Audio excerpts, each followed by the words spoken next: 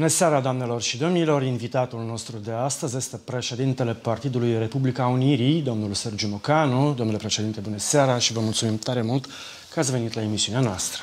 Bine v-am găsit pe dumneavoastră și telespectatorii dumneavoastră. Vă mulțumesc foarte mult pentru această posibilitate de a-mi da șansa de a cuprinde cât mai multă lume, un auditoriu mai mare pentru a le spune ceea ce cred că trebuie să ajungă până la urechile oamenilor, pentru că nu prea ai unde. Vă asigur, plăcerea este de partea noastră. Domnul președinte, mie îmi pare că odată eu v-am mai întrebat, dar totuși vă mai întreb încă o dată. să nu vreți să candidați totuși la aceste alegeri prezidențiale din toamna acestui an? Da, eu știu, sondajele, mari șansă, nu prea vă dau sau da, dar... nu, nu vă dau deloc. Dar știți pentru ce vă întreb eu? Măcar să faceți viața mai interesantă a celorlalți con- concurenți, indiferent care ar fi aceștia, participând alături de ei pe la dezbaterele electorale, pe la alte platforme electorale care vor fi organizate cu ocazia acestui scrutin. Da, eu uh, uh, cred că, în mod sigur, m-ați întrebat și eu cred că v-am răspuns la fel. Eu vreau să candidez și uh, sper foarte mult să am șansa asta și posibilitatea asta să candidez. Eu îmi voi calcula resursele proprii, nu atât financiare, dar în general mai multe resurse sunt care trebuie să-ți permită sau să nu-ți permită să candidezi. Sarcina mea, deci asta depinde de mai mulți factori. Depinde nu numai de dorința mea de a candida și noastră aveți dreptate că asta mi-ar da șansa să, să, fiu, să fiu vizibil și să le spun ceea ce am de spus, dar s-ar putea nici să nu existe șansa asta, pentru că în modul în care acționează televiziunile din Republica Moldova nu prea văd. Dar nu asta e motivul pentru care eu n-aș candida. Uh, deci, sarcina pe care mi-o pun eu acum ca lider politic este să zădărnicesc acest referendum, să fac tot ce îmi stă în puteri, eu și cu puținii oameni care mă sprijin, să nu admitem desfășurarea acestui referendum și sper că în cadrul acestei emisiuni să vorbesc despre pericolele pe care, uh, care, care stau deasupra noastră în legătură cu această aventură a Mai Sandu. Adică eu am o sarcină foarte complicată, că în momentul în care nu reușim să zădărnicim acest referendum, după asta să mă încadrez într-o cursă idiotă, spun eu, care nu mi-aparține și pe care nu mi-am dorit-o, de a chema lumea să voteze pentru integrare europeană, vă dați seama. Adică uh, să fac tot ce îmi stă în puteri ca să nu admit lucrul ăsta, iar în momentul în care se săvârșește, uh, mergând după principiul un nebun aruncă o piatră în apă și alții cu, uh, cu 10 cuminți nu o pot scoate, mergând pe principiul ăsta să încercăm să scoatem ceva din chestia asta. Situația e destul de gravă.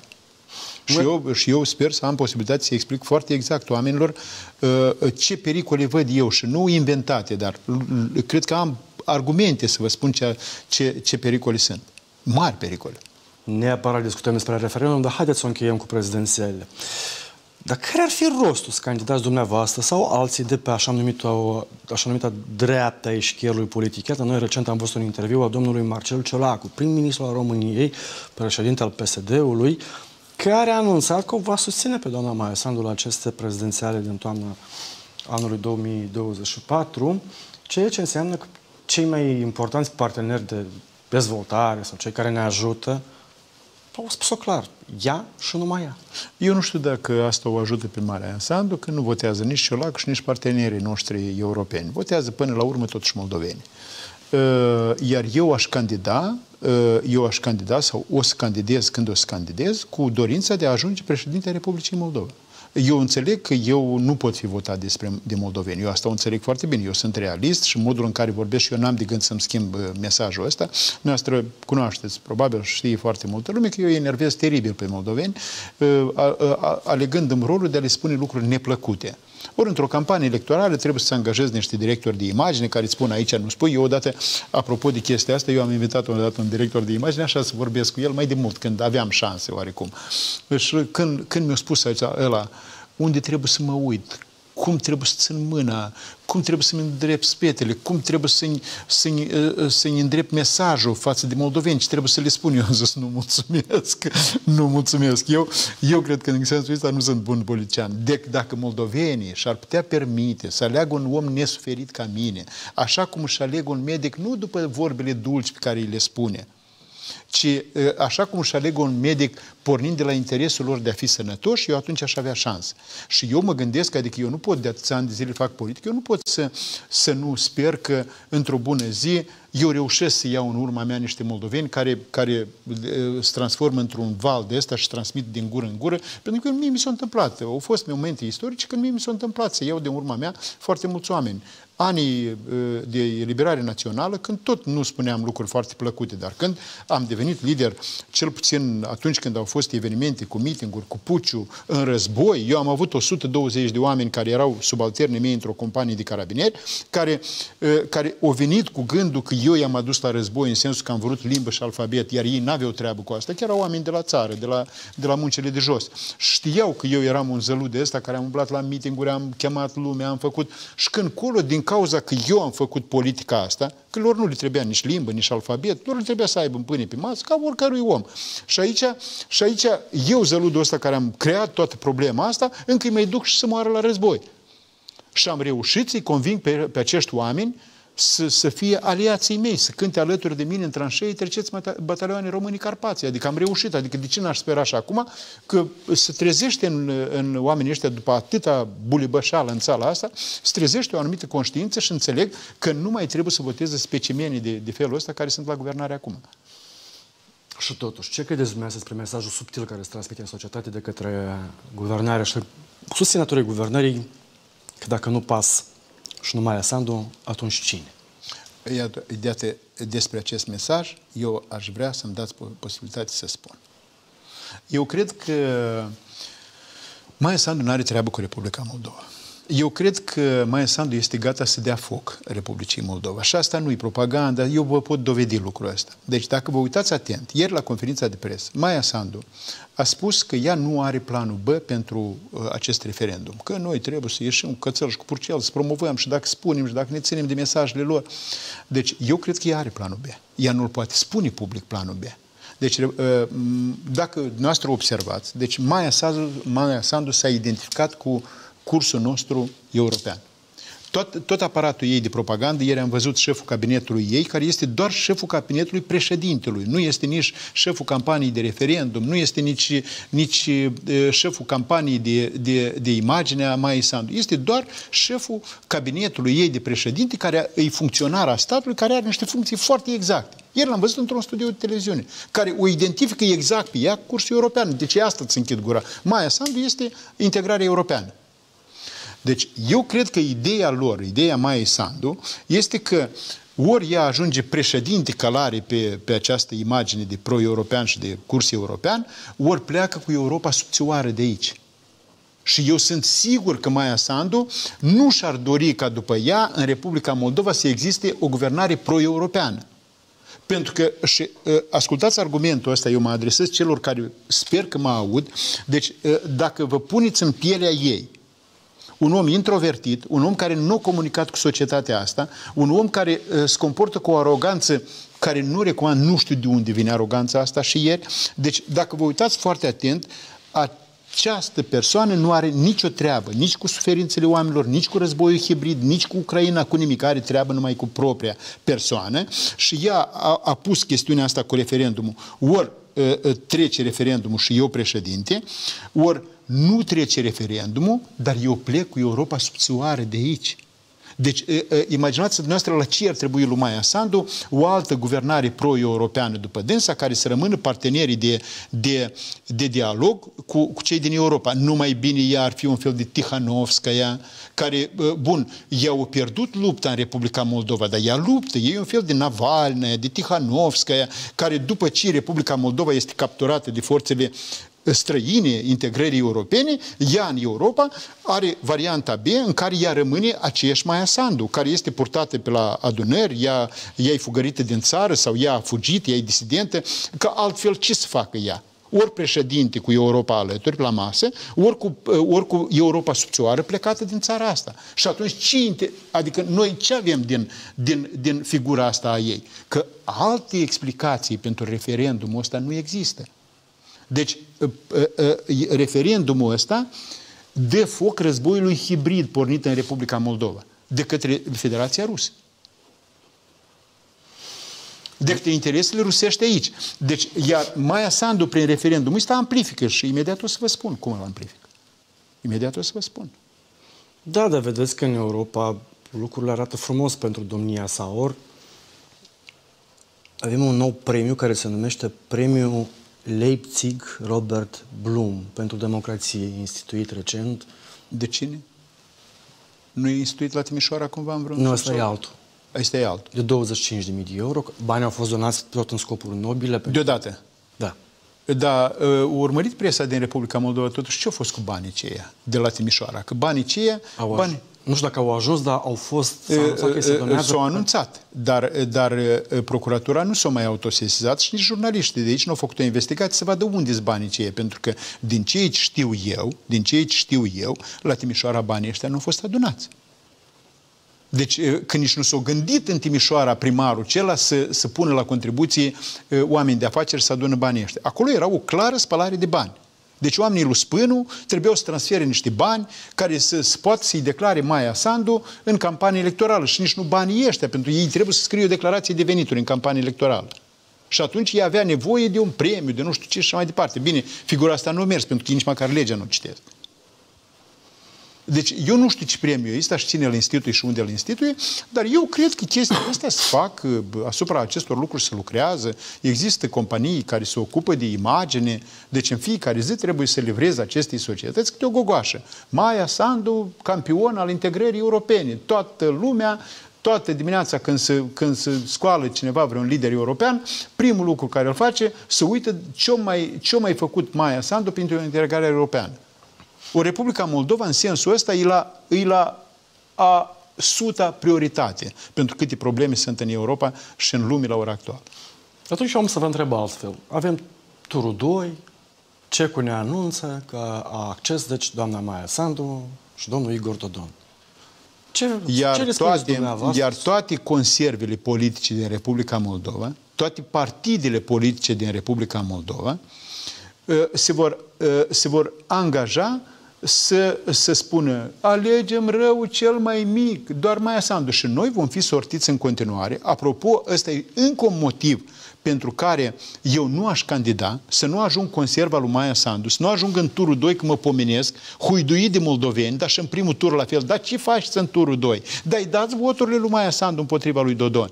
Deci, eu ca să nu mă pomenesc în situația asta idiotă, e primul lucru la care mă gândesc dacă să candidez sau nu. Și oricum veți fi întrebat, pentru că Voi fi întrebat, dar eu răspuns dem la, la această întrebare nu am, decât să vă spun acum că noi ori acceptăm Uh, deci, uh, că Republica Moldova intră în sfera de interese rusești, ori trăim cu proștii noștri. Ori trăim cu, cu acești oameni care sfidează totul ce se poate pe lumea asta. Iar inițiativele mai Sandu, nici una dintre ele, de ce s-au atins acești oameni, tot au fost pângărit de la cursul nostru european, de la integrarea noastră europeană, de la idealurile naționale, de la tot ceea ce am declarat noi. Orice societate își declară niște, niște, niște... Deci de tot ce s-au atins, tot au pângărit. De la, de la reforma justiției și până la, până la așa zisa integrare europeană. Dumneavoastră vedeți că sfârșește luna martie și noi nu începem negocierile pentru aderare. Și eu nu știu dacă noi le începem anul ăsta. Ele trebuiau începute până la sfârșitul anului, dar ei nu spun că una din cerințe este Procuratura Generală. Pentru că nu poți, pe de o parte, să te declară atât de reformator și pro-european, iar, iar, iar pe parcursul a doi ani și mai bine să nu ai procuror general și să faci simulare cie de, de, de concurs în care, în care o persoană care, care, care e ținută de tine acolo să, să, să manipuleze rezultatele acestui concurs și până la urmă să nu ne alegem cu nimic. Deci nu poți așa. Nu poți. Deci cazul Stoianoglu este piatra lor de încercare. Pentru că au încălcat tot ce se putea încălca. Au încălcat tot ce se putea încălca. Încă atunci, cred că într-o emisiune la dumneavoastră, eu am spus, stăteam de vorbă cu cineva din afară care mi-a spus, dacă nu este pe fond nimic în cazul lui Stoianoglu, Republica Moldova va avea consecințe. Și pe fondul cauzei Stoianoglu nu există nimic decât țâfna mai sant. Nimic, oameni buni, nu există nimic. Există doar, doar această, uh, uh, cum să spun, în război informațional, nu pot să spun că au fost atât de iscusiți, sau, dar a prins chestia asta. Bombele imediat, cei ce au rolul. Deci chestia asta cu oricine vorbești, orice, orice idiot util în societatea asta, dacă îi spui și încerci să-l aduci la înțelegerea acestui caz cât de anti-european este, îți spune, e, lăsați-mă, dar priveți slava, cum e cu privet slava? Iată, cu privet slava asta, au făcut un fel de slavă căpăsesc. Deși acolo i-a spus privesc svoju Vyacheslav. Da, dar privet slavă a devenit un fel de, un fel de slogan ca, ca, ca slavă KPSS care, care, care până acum orice idiot îți spune chestia asta. Ori în spatele acestei chestiuni stă o chestiune, stă, stă o, o, o, o, o acțiune a lor foarte gravă, foarte gravă. Deci în, în care puterea de la Chișinău, puterea așa zisă europeană, a inițiat, a coordonat, a, a, făcut, a făcut acțiuni, de represalii, de reținere, arestare, ă, ă, urmărire, urmărire ă, la comandă politică a procurorului general. Asta e adevărul. Și adevărul ăsta iese la suprafață acum prin toate. Cum să ne imaginăm că Republica Moldova se poate menține pe un curs european cu asemenea bombă care și-a pus-o, o bombă cu efect întârziat care și-a pus-o sub ei. Ați mers un piculeț cam departe. Eu ajung Da, la revenim. justiție neapărat. Da. Revenim la lege. Scenariile dumneavoastră sunt tare sumbre. Deci, sau influență rusească, sau ai noștri, um, deși are rău mic, rău mare, E, Pentru că poate doamna Maia Sanu din primul tur și gata. până la primul tur. Deci, acum lucrurile sunt mult mai complexe. A apărut acest element cu referendum. Haideți să vă spun despre asta. Dar, Deci eu nu cred că ea poate desfășura acest referendum. dar gata, dacă- este conferință de Stați presă, o- este site, este, Este. slogan, Este. totul este. Uh, Tot așa cum a fost, uh, a fost tot ce s-a putut să fie pe subiectul uh, Tribunalului Anticorupție. Și Tribunalul Anticorupție nu avem. Noi, dacă ne uităm în urmă, Maia Sandu are doar eșecuri, doar inițiative care nu au fost duse până la capăt din cauza că ele au fost idiote din start. Deci, Tribunal Anticorupție este o absurditate în Republica Moldova pentru că noi nu avem dosare de corupție. Noi nu le avem. De la, de la 1 ianuarie până în prezent, Centrul Național Anticorupție și Procuratura Anticorupție au livrat un singur dosar anticorupție de, pe, pe, pe, pe motive de corupție, așa, minoră, care s-a dus în judecată, unul singur. Și nu știu dacă până la sfârșitul anului mai furnizează vreo unul. Deci, din lipsa acestor dosare, noi nu avem dosare pe corupție în Republica Moldova, iar ea, iar ea vrea ea, ea vrea tribunal uh, anticorupție. Dar noi nu mai avem, dacă observați, nici corupție. Așa ni s-a spus. Noi nici corupție nu mai avem la ora actuală. Deci noi nu mai avem corupție recentă, noi avem niște fapte istorice de corupție. Cu niște dosare care stau la murat până acum și care nu au nicio perspectivă, pentru că multe din dosarele astea au fost inițiate de statul capturat. Procurorii care, care le duc aceste dosare sunt tot din statul capturat. Și, uh, și uh, dosarele alea nu au nicio perspectivă, absolut nicio perspectivă. Deci, eu asta o spun cu inițiativele Maia Sandu care nu au nicio, nicio perspectivă. Așa e și cu referendum. Haideți să vă dau eu un scenariu și mai sumbru decât cel despre care v-am vorbit. Uh, Autonomia găgăuză are la bază, adică baza ei juridică este o lege constituțională despre statutul special al regiunii Găgăuze.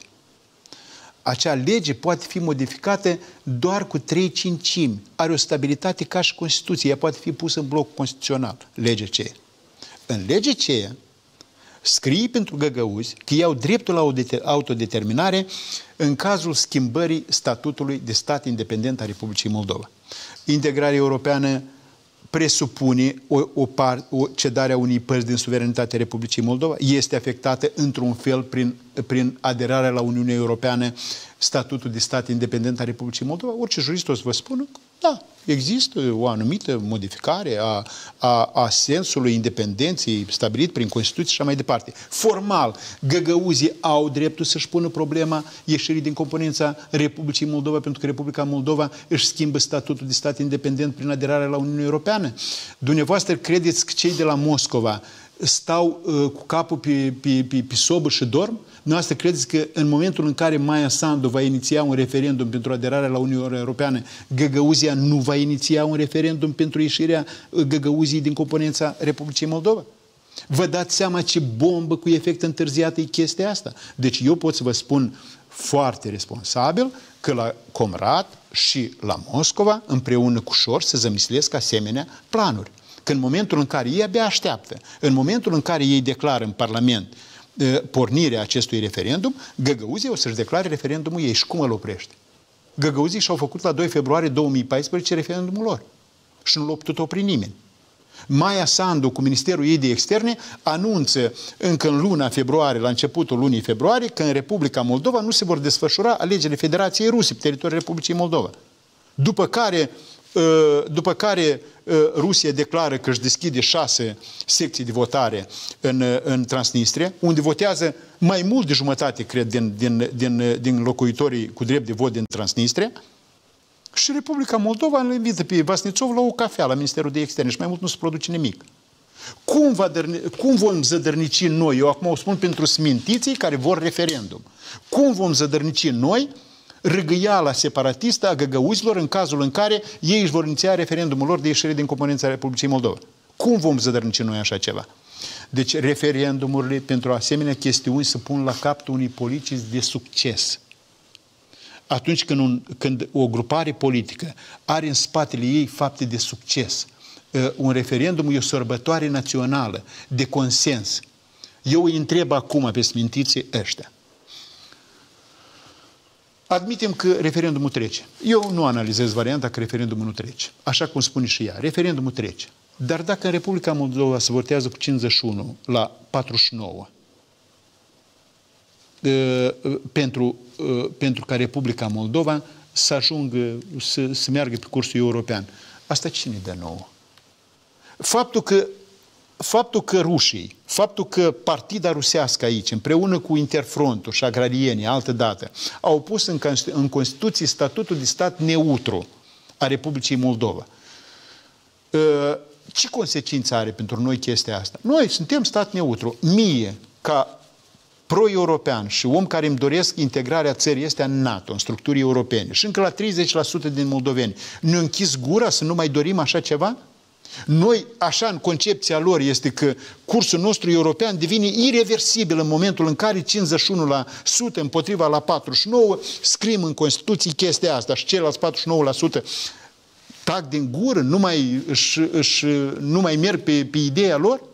Sau munca noastră este nu să-i băgăm în Constituție chestia asta, dar să încercăm să transformăm societatea asta încât cei 49% care n-ar vota în cadrul unui referendum pentru integrare europeană ar deveni pro-europeni și încet, încet ar accepta ideea noastră ca noi toți moldovenii împreună, când spun moldoveni am, nevoie, am în vedere și găgăuzii și ucrainenii și romii, toți împreună, spunem că mergem în Europa. Vă dați seama că persoana asta irresponsabilă, care este acum șeful statului, din întâmplare, zic eu, dintr-o rătăcire a moldovenilor, pune țara asta pe un butoi de pulbere din interesul ei personal și de grup, de a transforma ideea europeană în idee uh, uh, uh, deci de singur beneficiar a acestei idei, că dacă ei mai ajung încă o dată la guvernare ei călăresc cursul ăsta în continuare, dar dacă nu, pleacă cu tot cu ideea europeană din Republica Moldova. Și acolo devin disidenții, fugăriți din țara lor. Ați văzut că nu vreau să-l influențez. Politica asta gerontologică americană cu Biden în frunte, care, care o invită pe Navalny și pe Zelenski, le invită în tribune la discursul lui electoral din anul ăsta. Așa văd ei, așa acolo sunt tot felul. Maia Sandu așa se vede. După ce, deci varianta abia pentru dânsa nu e mai proastă decât varianta A, ca să mă înțelegeți. Varianta A el rămâne în Republica Moldova, în varianta B pleacă din Republica Moldova, dar, dar tot cu, cu, cu, cu aceeași imagine pe care o ai de luptătoare Jana Dar, care luptă pe toate meridianele pentru Europa. Asta e ideea, dar noi ce avem cu asta? Discutăm despre ce avem noi cu asta și ce, ce avem de făcut, peste câteva clipe de publicitate, vă rog frumos. Publicitate, doamnelor și domnilor. Noi am revenit, doamnelor și domnilor. Domnul președinte, dumneavoastră, înainte de publicitate, vorbează despre faptul că există prea multe riscuri dacă avem acest referendum. Haideți să ne imaginăm, dumneavoastră, chiar credeți că doamna președinte va ieși mâine, poi mâine și vă spune eu m-am răzgândit? Eu cred că ea va fi constrânsă. Eu, eu mă tem că noi putem să ajungem într-o situație în care eu nu știu dacă ea va face lucrul ăsta, pentru că profilul ei nu arată o asemenea, o asemenea perspectivă. Dar eu spun că poate mă aude cineva și anturajul ei, că doar nu sunt chiar toți acolo smintiți, adică trebuie să existe o, un raționament, cât de cât.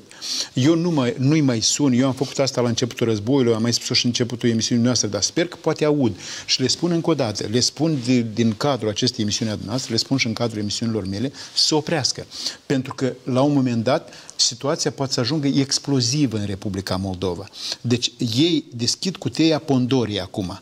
Noi, în momentul ăsta, așa cum spuneau ei și aveau dreptate, că e război hibrid, că, că Rusia nu renunță la planurile ei, că treburile pe frontul ucrainean merg greu, că, că Europa e într-o derută mare, acum cu războiul ăsta. Războiul ăsta va dura mult. Acum chiar nu era motiv, nu era momentul de o asemenea dispută. Mai mult decât atât.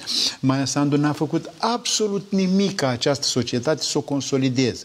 Eu vă amintesc că există în Republica Moldova un, un număr mare de state care și-au ales primari de la partide anti-europene cărora Maia Sandu a spus că nu le dă nici finanțe europene, pentru că ei nu sunt, nu sunt cum să duce ea în satele celea? Cine să duce acolo să facă, să facă, uh, să facă agitații pentru referendum? Deci eu, eu mă gândesc, adică eu nu pot să nu sper că, dacă mă ocup de politică, că ajunge până la ei uh, uh, și să opresc, adică înțeleg cât de mari sunt riscurile să arunce în aer societatea asta și cât de mari sunt riscurile pentru ei să nu reușească să pună piciorul în scara avionului când, când vor da foc acestei țări.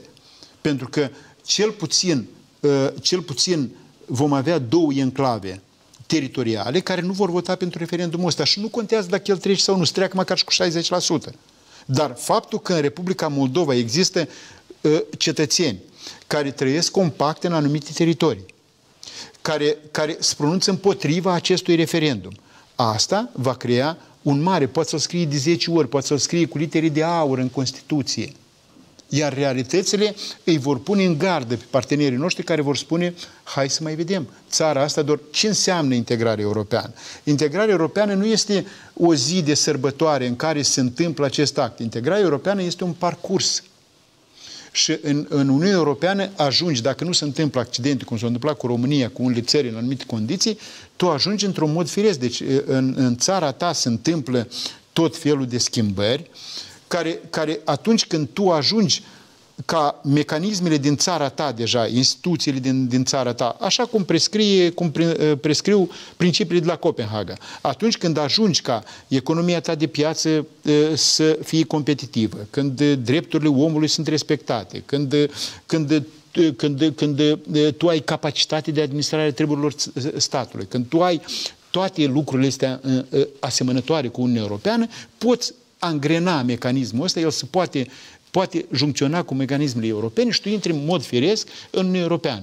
Deci, ă, Uniunea Europeană, după un referendum de felul ăsta, chiar dacă admitem varianta cea mai simplă, găgăuzii nu-și fac referendum, în Bălți nu se întâmplă nimic, e liniște și pace, e o pace așa de floricele și totul e bine și frumos, nu iese, nu iese uh, sprijinătorii pas sfideze pe nimeni jucând Hora Unirii pe nicăieri, totul se produce liniștit, așa cum ca într-o poveste, chiar și în cazul ăsta, noi vom avea probleme mari de integrare, pentru că, pentru că noi vom prezenta un tablou foarte neatractiv pentru partenerii europeni. Și la, la, la, la, la câte probleme au ei, pentru că tabloul nostru de, de, la ora actuală, noi nu corespundem.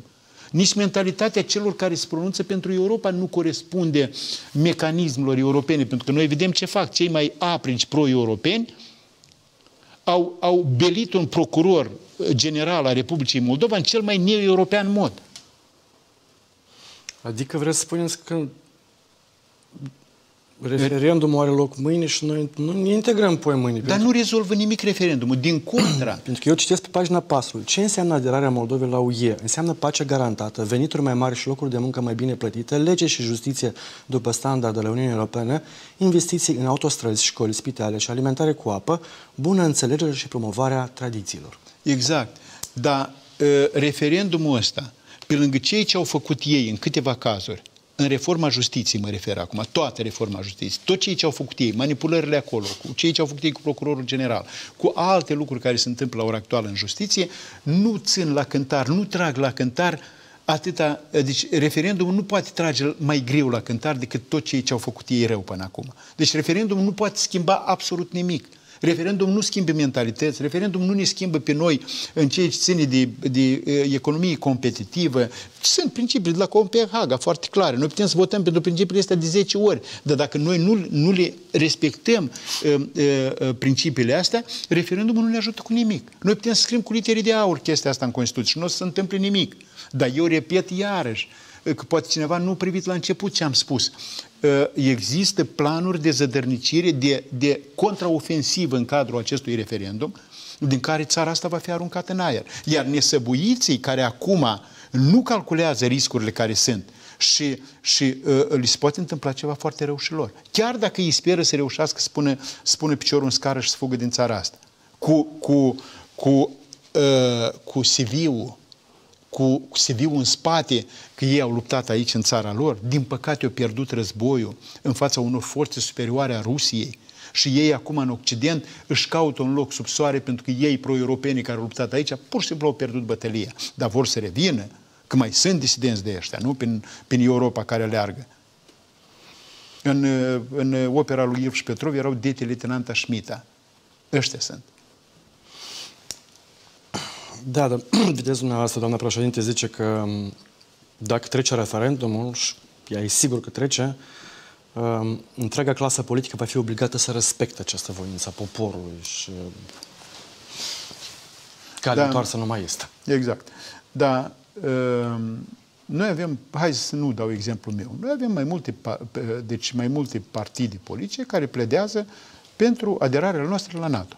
30% conform sondajului, Ă, ă, ă, doresc acest lucru. Cum mă obligă pe mine Constituția Republicii Moldova, unde are scris statut de neutralitate a Republicii, cum mă obligă pe mine să nu pledez pentru cauza vieții mele, ca noi să facem parte din sistemele de securitate NATO? Cum mă obligă pe mine chestia asta? Eu nu vin în studio, nu spun lucrul ăsta, mă trage cineva la răspundere pentru asta. Așa o să fie și cursul nostru integral european. El nu rezolvă nimic. Cum o să fie obligate partidele politice să supună acestui referendum? Dacă 49%, un pic mai puțin decât 51%, pledează pentru altceva. Da, în, în țări avansate, în țări cum este Elveția, care fac referendum de două ori pe lună, da, au un grad de școlarizare de 98% au un grad de școlarizare de 98% la dânsii democrației directe deja. Acolo contează chestia asta. Oamenii au convenit că uh, majoritatea Uh, deci decide lucrurile. Noi nu avem convenit lucrul ăsta aici. Noi în țara asta nu avem convenit așa ceva, pentru că toți încalcă orice principiu. Deci, eu spun încă o dată, deci nu poți să creezi icoane la care să te rogi să crezi că, că, că lucrul ăsta se va întâmpla. Deci icoana asta care, care vor să o pună ei în Constituție nu ne ajută pe noi cu nimic. În, în, deci, iar, iar lucruri Ă, ă, iar lucruri pe care le fac ei, derapaje, derapaje de la statul de drept, de la democrație pe care le fac ei, vor trage la cântar mai mult decât votul popular asupra referendumului. Scuzați pentru întrebarea tâmpițecă, dar dumneavoastră cum răspundeți celor care zic așa, păi nu susții referendumul, înseamnă că ești anti-UE și ești pro-rus și pro-Putin? Pe mine asta nu mă... Deci, încă o dată, ca să fie foarte clar, pentru că ei substituie termenii. E una să cursul de integrare europeană și e alta să susții referendumul. Dumneavoastră ați observat că partidele anti-europene, așa cum le, le punem noi, dumneavoastră ați văzut că ei nu au făcut acțiuni anti-referendum. Nu sunt asemenea acțiuni, nici socialiștii, nici... eu n-am văzut asemenea acțiuni anti-referendum. Ei nu s-au pronunțat încă, pentru că eu cred că cei care sunt anti-europeni își doresc acest referendum. La fel ca și ăștia europeni. Deci, cel care vrea să ajungă de pe stânga președinte, noi nu știm cine e candidatul ăsta, dar cel care, care de pe stânga vrea să ajungă președinte își dorește acest referendum la fel ca și Maia Sandu. Pentru că asta le creează cu ce să vină Maia Sandu la alegeri, decât cu, decât cu găselnița asta electorală. Cel de pe stânga care se va bate cu Maia Sandu își dorește acel, acest referendum la fel. Deci când noi discutăm despre vrem referendum sau nu, noi nu discutăm dacă vrem în Uniunea Europeană sau nu.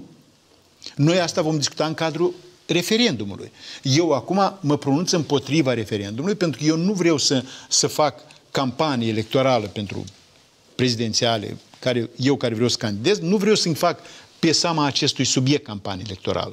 Pentru că el e un subiect primejdios, un subiect contraproductiv, unul care nu ne dă absolut nimic sub aspectul integrării noastre europene. Și din cauza asta eu le spun, le, le spun și răcnesc din tot renichii, băi, opriți-vă! Opriți-vă că voi dați foc acestei țări. Domnul că nu mai este un risc pentru cei care au inițiat, credem noi. Referendumul are loc doar în primul tur. Doar atunci votăm. Dacă avem turul 2 la prezidențiale și rezultatul e 51 la 49, nu contează în favoarea cui, cineva riscă să ia bătaia atât de mare în turul 2 pentru faptul că referendumul s-a desfășurat prost și rezultatul e prost și nu-i cel scontat și promis în, primul, în toată campania asta. Doar la alegerile prezidențiale, cel mai probabil vom avea și turul 2, unde Ce nu să există facă? turul Deci, 2 pentru referendum. Eu, eu, de exemplu, le-aș propune că ei doar pot toate acelea să facă. Au curte constituțională, au, de ce să nu facă și în turul 2 un referendum? Pot să-l fac și în primul tur referendum și în al doilea, și în al doilea tur. Eu acum duc lucrurile la absurd, da. desigur. Da? Adică, da, sigur că aveți dreptate, dar Maia Sandu pentru asta are planul B.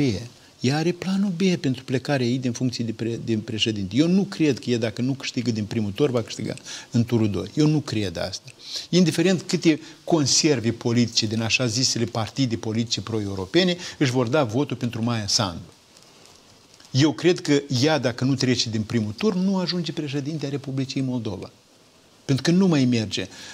La Odessa se spune, haideți să vă spun vorba rusească, вчерашняя хохма уже не хохма, spun odesiții. Deci, figura de ieri sau gluma de ieri azi nu mai, este, nu mai este de râs așa cum a fost prima dată. Nu cred că Maia Sandu reușește aceeași performanță a două oară. Eu nu cred că... Deci ea speră să treacă din primul tur cu acest referendum. Dacă nu trece din primul tur, eu nu cred că ea trece în turul 2. Eu nu cred. Cu toate conservele ei politice, care acum vorbesc în doi peri. Noastră nu vedeți, ea... Deci eu, eu, eu rămân, eu mă uit la televizor și rămân câteodată, adică îți vine, deci nu mai înțelegi nici societate trăiești. Măi, omul ăsta trebuie să aibă o responsabilitate. Deci, ea spune că dialoghează cu partidele politice. S-au întâlnit cu partidele politice, s-au întâlnit cu babele, cu moșnegii, au discutat cu nu știu cine și tot așa. Domnule, dar dacă tu ieși și declari referendum, spui, domnule, m-am întâlnit și am discutat. Uitați-vă care este rezultatul dialogului meu cu societatea asta. Că doar asta spui că ai făcut. Nimic din asta. Ați auzit ceva? Dar eu aud de la partidele astea care... Eu, eu consider un respect din partea lor și mă bucur, le mulțumesc pentru respectul de a nu mă invita. Adică asta vorbește despre faptul că totuși cuvântul meu ajunge până la ei, ei știu foarte exact ce spun despre Maia lor Sandu, ei știu foarte exact care e mesajul meu și nu m-au invitat, le mulțumesc pentru faptul că nu m-au invitat. Dar eu aud de la cei care au fost invitați la palat că ei nu prea s-au pronunțat, indiferent că au spus cu voci tare, indiferent că când au ieșit nu prea au spus ceva, indiferent că acum totul dau așa, că parcă sunt în opoziție, nu sunt în opoziție, nici călare, nici pe jos, nici pe cărare, nici pe drum, nici pe nicăieri. Așa o fac partidele astea politice, cărora eu încerc acum să mă adresez, să adune cu mine sau fără mine și să fac un demers clar și să spună opriți-vă, deci partidele politice de dreapta care o să ajungă conserve în turul 2 și nu o să reușească să o facă președinte, de pe acum îi chem să ne adunăm, să vă adunați fără mine, nu-mi iau, nu-mi arog eu uh, lideritate în, într-un dialog de felul ăsta, adunați-vă și hai să o oprim. Pentru că vă spun, pericolele sunt foarte mari. Iar atunci când o să se aprindă la, la, la, la Comrat, dar mai spun ceva în legătură cu asta, eu vreau să vorbesc ceva despre chestiunea asta cu Șorș, cu venirea lui Benedictov, ca să vedeți, să exact, ca să vedeți dumneavoastră cum, cum lucrează, cum lucrează oricine cu noi, cum le convine, imediat. Dar haideți să vă spun acum. găgăuzii care nu sunt dușmanii Republicii Moldova. Credeți-mă, eu sunt de acolo din sud. Eu știu dispozițiile acolo. Eu vorbesc cu găgăuzi care stau la Chișinău. Eu nu-i consider pe găgăuzi dușmanii Republicii Moldova. Dar acolo sunt aceste dispoziții care sunt mai puternici sau mai puțin puternici, câteodată justificate. Uitați-vă, ei au ales un bașcan, o bașcană. Din câte vedem noi, ea este omul ușor. Asta se vede. Dar găgăuzii au ales-o. Un copil născut din viol e copil care își primește acte de naștere, nu? Și îl tratăm ca atare ca și toți copiii. Indiferent cum s-a născut ea bașcan acolo, ea este alesă de găgăuzi. Ea o lege. Acea lege prescrie că bașcanul lor ales de ei este membru a guvernului. Legea prescrie clar. Eu acum vă spun cei care mă aud ca să înțeleagă și care cred că țifna Maia Sandu îi stă bine. Ia uite Maia Sandu cât e ea de curajoasă, că ea o spus că nu o numește, contrar lege, contrar Constituție și nu o cheamă. Dar eu vreau să vă atrag atenția și să vedeți cât de contraproductiv pentru noi este chestia asta. Că noi presupunem că ea e al ușor. Da, că noi presupunem că este e partidul hoților. Accept. Dar asta e o chestiune juridică. În politică un pic e altfel. Când în campanie electorală spui cu tare hoț și eu i-am numit foarte mulți hoți și așa mai departe, în bătălii politice și aveam dreptate, dar eu vreau ca lumea să mă audă. Spuneți-mi, vă rog, dacă bașcana asta, așa cum a fost alesă ea, ă, fără participarea partidului de guvernământ acolo, fără dialog cu oamenii cei de acolo, dacă ea avea un jurământ depus în fața șefului statului, cu steagul Republicii Moldova, la președinție, și dacă ea era membru a guvernului Republicii Moldova, ea mai făcea pasul ăsta să meargă și să se întâlnească ca membru a guvernului cu Putin? Dacă în Republica Moldova era o claritate fixată în declarațiile noastre politice în ce ține de statul agresor, cum se duce un membru a guvernului? Și chiar dacă pleca, cum arăta găgăuzia și găgăuzii de acolo în ochii noștri. Deci bașcanul lor depunea jurământ de credință Republicii Moldova. Acum este liber să facă ce vrea. Găgăuzii au ales-o, iar noi de la Chișinău n-am chemat-o în fața steagului Republicii Moldova să depună jurământul. Doar nu contestăm faptul că ea a fost aleasă. Organele de drept din Republica Moldova, instituțiile, au acceptat că ea este legal aleasă bașcan. Și țifna ei nu-i permite să depună jurământ Republicii Moldova. Și după asta, ea poate îmbla pe toate meridianele, poate face referendum acum, dar păi voi ați creat separatismul ăsta acolo. Prin faptul că voi nu l-ați acceptat conform legii pe omul lor ales în guvernul central. Cât îi declară treaba asta? Deci, deci dumitale, șefa statului, doamna Maia Sandu, deci faci tot ce stă în puteri să genereze separatism în Găgăuzia, nu pentru că găgăuzinii sunt dușmani, pentru că, pentru că noi creăm asemenea precedente. Cum spuneați dumneavoastră că în politică e un pic altfel decât ceea ce ține de justiție, ca și în cazul Consiliului Municipal Chișinău, când cei din PAS oficiali au zis socialiștilor, haideți să coalizăm. Da. Și n-au nicio treabă, n-au nicio treabă. Până nu de mult îi acuzau de faptul că sunt proruși pro-Putin, pro-război.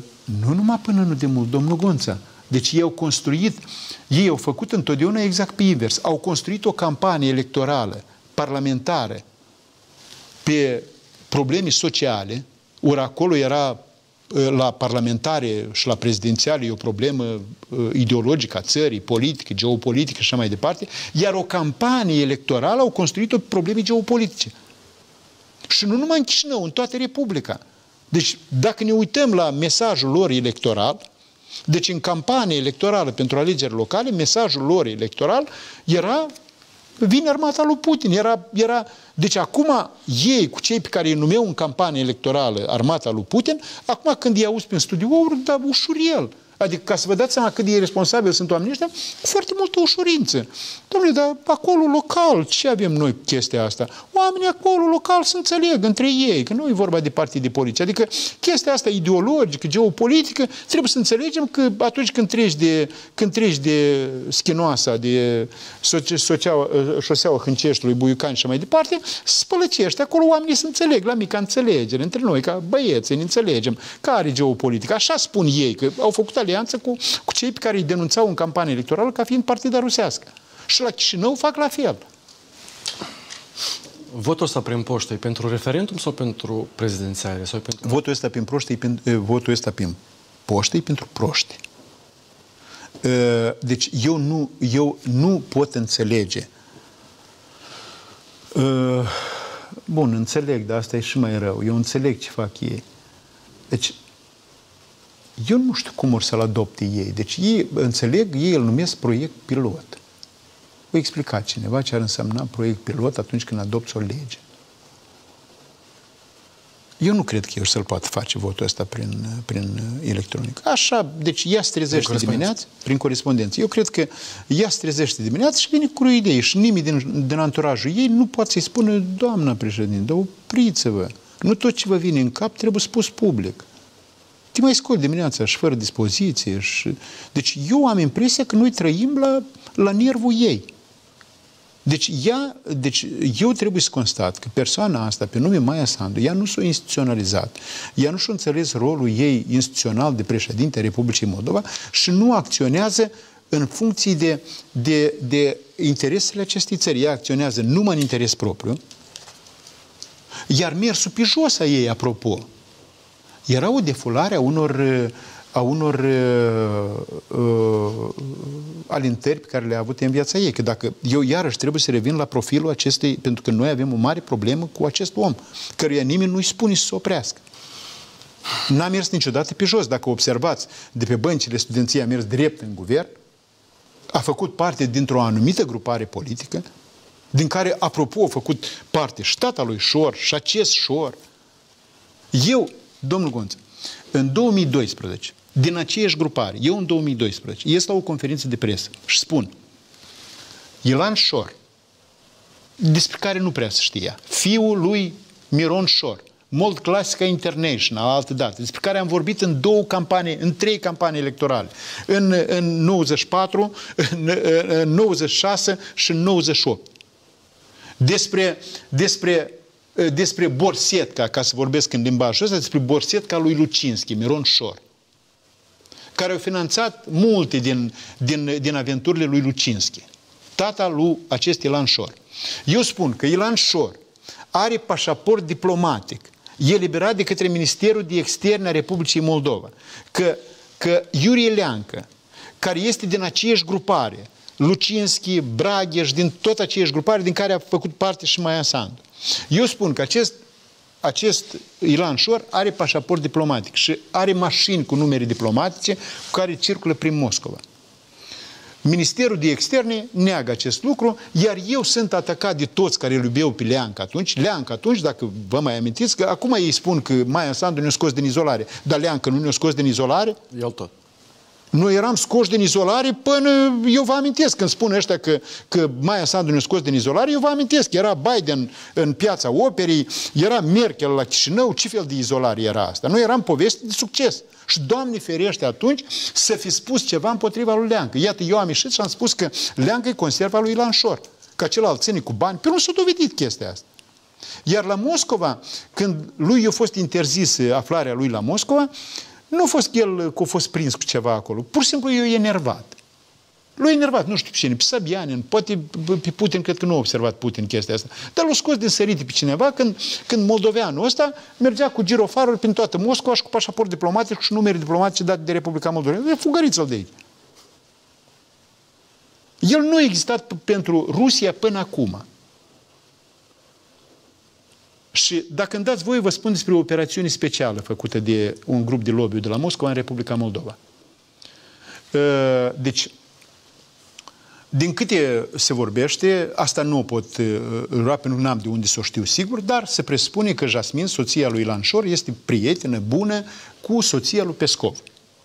Lui Putin nu pot să Lui Putin Putin greu și amintește care e Republica Moldova și de unde e ea. Adică eu exagerez acum un pic, dar n-are el treabă cu Republica Moldova. Să-i prezinți lui Putin un alt personaj decât Dodon ăsta care pentru Putin deja s-a dus la groapa de gunoi, deci trebuie să-i prezinți ceva din Republica Moldova. Cum să el prezinți pișor? Cum? Cine e el? Și atunci, lobby de la Moscova, prin RTVI sau cum e televiziune aceea, unde e, unde e Benedictov ăsta, nu e, aceea a Gazpromului. Uh-huh. Deci Benedictov, care parcă și împotriva războiului, parcă e peste tot și așa mai departe, își face o venire în Republica Moldova. Asta în, în, în manipulările, în, în teoria manipulării, în teoria uh, jocului de imagine cu politicieni se numește să faci transfer de imagine, să, să, să-l prinzi de ceva. Deci lui trebuia să, să, să poată pronunța cuvântul șor, pentru că cuvântul ăsta nu-l știe nimeni. El vine în Republica Moldova. Aici lui se organizează întâlniri cu ministrul de externe, el ia un interviu, îl duc la televiziunile lor, el apare pe aici și în discuții cu ăștia apare numele șor. Și atunci el, sigur, ca jurnalist care se respectă, întreabă, dar cine e șor? Și se duce, după ce l-a nominalizat guvernarea din Republica Moldova, se duce să-l întrebe pe șor cine ești și face cu el un interviu în care chipurile el îl atacă. Da, acolo erau, dacă vă uitați, faceți un checklist. Noi în aviație avem, când te urci în avion, ai un checklist. Ai făcut asta, ai inclus cu tare, ai făcut... El a făcut un checklist. Și nu contează cum îl întreabă pe Șor. Dar Șor trebuia să răspundă ca să-i pună pe masă lui Putin uh, uh, profilul ușor. Să, să fie acolo. El pentru care limbă? Moldovenească sau română? Uh, uh, moldovenească. El nu umblă cu fofărlica ca socialiștii de pe aici, care, uite tu la dânsii, atât de mult s-o hrănit din mâna celor de la Moscova și acum umblă așa, cu, cu semitonuri, cu, cu, cu fofărlica umblă pe târg și pe la Moscova, că poate cu Europa un pic, cu voi încă un pic, noi peste tot vrem să fim și tot așa. Nu, lor le trebuie acum unul clar. Și ăsta e șor, care niciodată nu a avut un discurs atât de anti, anti-moldovenesc, anti-european numai în discursul cu, cu Benedictov, pentru că el avea de răspuns. Alta e problema că el arată cam tâmpit. Asta mai puțin contează. Pentru ruși asta mai puțin contează. Cât e mai tâmpit, cu atât e mai bun. Contează că el a răspuns la toate întrebările lor. Limbă română, anti-Europa clar, anti-NATO clar. Deci și mai sunt câteva chestiuni care nu merg. Deci el le-a spus toate. El a spus totul. Deci Șor la ora actuală este pregătit de lobby de la Moscova, pe lângă Putin. Eu nu exclud că el degrabă o să se întâlnească cu Putin după ce a dus-o pe Bașcan acolo. Și atunci, sigur că candidatul, eu nu știu cine va fi acela, sigur că acel candidat pe partea cealaltă are nevoie de acest referendum. Continuăm, vă rog, de peste câteva da. clipe de publicitate, publicitatea doamnelor și domnilor. Noi am revenit, doamnelor și domnilor. Domnule Mocan, eu v-am întrerupt sau... Da, eu, eu vreau doar un pic să continu ca să, ca, să, ca să înțeleagă. Eu foarte des spun că uh, pentru cei din afară, moldovenii suntem toți pe o față. Toți pe o față suntem. Că-i Filat, că-i Maia Sandu, că-i eu, că-i Șor, că-i Platon, toți suntem pe o față. Deci, dacă te uiți atent la politicienii din Republica Moldova, sigur că eu mă exclud pe mine din lista asta totuși, pentru că eu cred că dacă se uită lumea, am stat pe, un, pe, o, pe o singură direcție. Dar, în fine, nu contează. Hai să spunem așa. Deci, dacă te uiți atent, în Republica Moldova nu prea găsești oameni clar de opoziție sau alta. În Republica Moldova vin la guvernare oportuniști. Dacă, dacă sunt în opoziție, încă îi mai poți prinde într-o ideologie, într-un curent geopolitic, dar în momentul în care ajung la guvernare, toți toți sunt pe față, toți ajung oportuniști. Ă, așa oportunist s-a comportat și această guvernare, dacă urmărim parcursul lor de la începutul războiului în Ucraina până acum, cum și-au modelat ei discursul în funcție de interesul lor personal. Și așa se întâmplă și în raport cu Europa și mai departe. Despre ce spun eu acum? Că un așa zis politician, ă, pe nume Șor, deci dacă eu, când începusem să dau profilul acestui personaj Șor, dacă vă uitați la el, pe unde a trecut omul ăsta, în spatele lui a rămas tot corupt.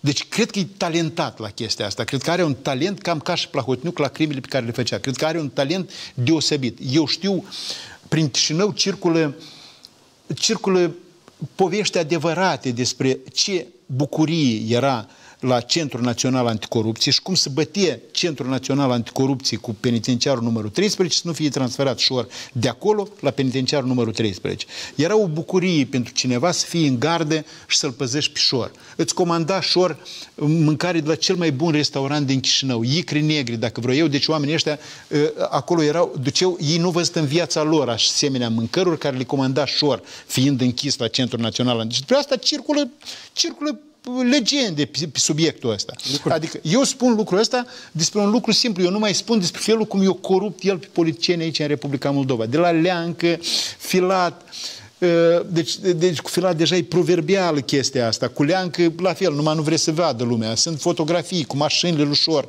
cum îi plăcea lui Leancă să urce în mașinile lui Șor și să meargă și să, să fie fericit, să-i dea Șor bani pentru fiul sau să... Era... Deci, și Șor atunci, Șor atunci când era era borsetca lui Leancă și a lui Filat, el era ok cu Europa. El era aproape pro-european.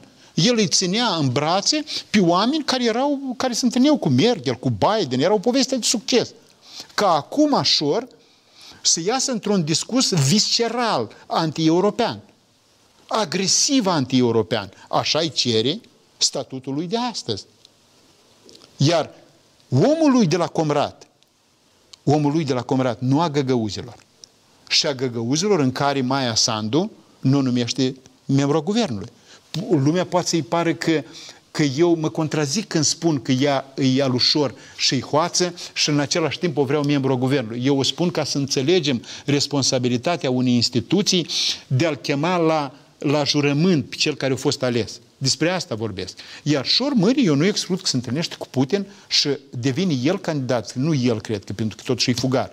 Găsește el un candidat bun pentru Republica Moldova care să-l prezinte la Moscova și să-mi dea lovitura de grație în, în campania asta electorală. Candidat nu poate fi nici chiar dacă ar fi...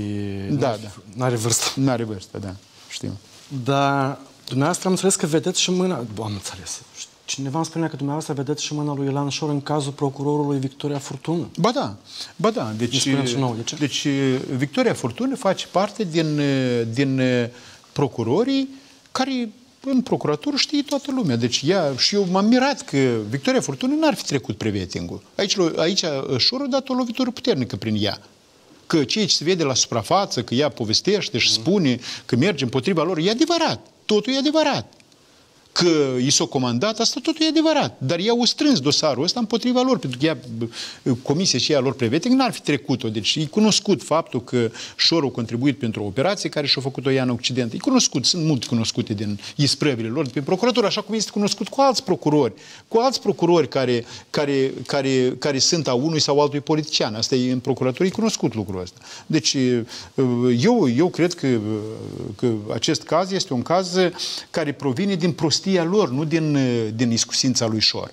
ci provine din prostia ăstora de a, de, a, de a acționa așa cum acționează. Deci pentru că cred că ușurel trecem la reforma asta în justiție, care nu mai reformă noi, dacă m-ați întrebat despre cazul ăsta. Uh, eu am avut o reacție, nu știu, lumea m-a văzut, am făcut o perețele de socializare la cazul ăsta cu judecătorul Ion Chertoac. E tot din aceeași categorie, pentru că noi acum avem o cohortă de tineri care își caută și ei un loc în Republica Moldova. Pe mine m-a impresionat, eu nu știu lumea, cred că lumea a privit acest caz, pe mine m-a impresionat foarte mult chestia asta. Dincolo, eu nu sunt un om care pun accent pe emoția asta, dar aici chiar e un caz aparte. Deci, și de ce vă vorbesc acum despre lucrul ăsta? Pentru că eu am auzit un răspuns extrem de arogant al Mai Sandu ieri, când a fost întrebată despre judecătorul Paneș, care, de la distanță, pare a fi un judecător uh, Uh, din, aceeași, uh, din același profil al judecătorilor. Eu mai cunosc cazul unui, uh, unui judecător, nu, nu, l-am, nu i-am cerut voie să spun numele lui, dar un judecător pe care eu îl consider integru, tot la fel de tânăr, care au activat la judecătoria Buiucan și nu a ajuns să fie numit de Maia Sandu, tot în, în, urma, în urma unui caz ca și al lui Paniș, nu este atât de vocal era. Deci noi cunoaștem cazul lui Ion Chertoac și al lui Paniș. Uh, eu chiar în toată chestia asta am făcut la un moment dat o greșeală, ne dându-mi seama la moment că, de fapt, dosarul pe care îl ducea Victoria Furtună, Furtună era un dosar inițiat la cererea lui Paneș. Eu n-am prins momentul ăsta la început, că sunt prea multe lucruri și nu. Și de aici au iscat. Asta au răspuns, deci ea au răspuns ieri cu o aroganță ieșită din comun, când au fost întrebate de Paneș. Deci ea nici nu admite că ea ar putea fi manipulată de, de, de ofițeri de la Serviciul de Informație și Securitate. Ea nici nu admite așa ceva. Ori noi avem în spațiu public foarte multe exemple când ei au dat raporturi diferite asupra unuia sau altuia. Cei care mă ascultă, în special cei care din diaspor s-ar uita la așa ceva, singurul lucru care trebuie să-l înțeleagă după audierea la Preventing, repetat, al lui Ion Chirtoacă, este că un moldovean crescut în Republica Moldova, sprijinit de părinții din afară, nu are voie să-și facă carieră în Republica Moldova. Știți de ce? Pentru că părinții lui nu-și pot declara banii. Iar ei, ăștia trecuți prin toate uh, coffee break-urile din Republica Moldova, singurul lor avantaj în comparație cu alți moldoveni care obțin venituri necontabilizate în țările unde le obțin, în, în raport cu ei, ei au venituri declarate. Este singurul lor atu. Deci cu venituri declarate, chiar puse în CV-uri, arătate. Și unde îi duce ăștia, îi sfidează pe ceilalți, deci diaspora. Diaspora trebuie să înțeleagă că pe cei pe care i-au ales ei ca și chipurile reprezentanței lor, acum o să-i sfideze groaznic, pentru că au venituri declarate în raport cu ei și ceilalți trebuie să înțeleagă că ei n-au nicio șansă să facă uh, uh, carieră în Republica Moldova, pentru că nu-și pot justifica veniturile. A fost uh, a fost un supliciu pentru mine să mă uit cum umilesc ei familia judecătorului Ion Chirtoacă. Părinții care au acceptat să vină să vorbească în fața unei comisii, să cheme să cheme italieni la care au lucrat la negru, la notar acolo, ca aceia să meargă cu riscul că fiscul îi, îi pune la contribuție, să recunoască acolo în țara lor că au angajat muncitori la negru ca să-i salveze cariera fiului cel pe care l-a angajat din respect. Vă dați seama unde am ajuns? Deci, deci partidul ăsta este, este partidul oamenilor sadici care au plăceri de la așa ceva. Cum povestea Drăgălin, că ea ar avea plăcere la ora 5-6 dimineață să intre în familia unuia și în ochii copiilor să-i facă percheziții, eu cred că Maia Sandu și toți ei au plăcere de la modul în care a fost umilită această familie. Eu nu știu dacă Ion Chirtoac o să mai ajungă judecător și nici nu știu dacă îi mei trebuie în țara asta să ajungă judecător. Dar asta e o lecție pentru foarte multă lume. Pentru că lucrurile nu se fac așa. Reforma în justiție și nicăieri, reforma nu se face numai cu cu, numai cu curățirea sistemului nu se face doar cu pedeapsă, ci și cu amnistie.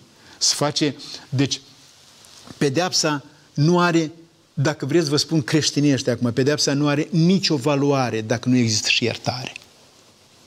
Nicăieri, nicio societate nu a putut ieși din problemele pe care le-am avut noi și alții care le-au avut probleme, doar cu pedeapsă. O ieșit cu pedeapsă și amnistie. Doar pedeapsă și iertare. Nu să fie amnistiați. Și nu au decis să eu fie nu, eu nu, acum când am spus, aveți dreptate, uh, eu nu m-am referit la ei când am vorbit uh-huh. despre amnistie. Eu m-am referit la amnistia banilor câștigați la negru uh, de către niște oameni care au muncit cinstit, și au fost pus condițiile. Noastră ați văzut că moderatorul cel care era acolo, el vine dintr-o societate din care, deci el de pe poziția lui, el nici nu înțelegea despre ce vorba.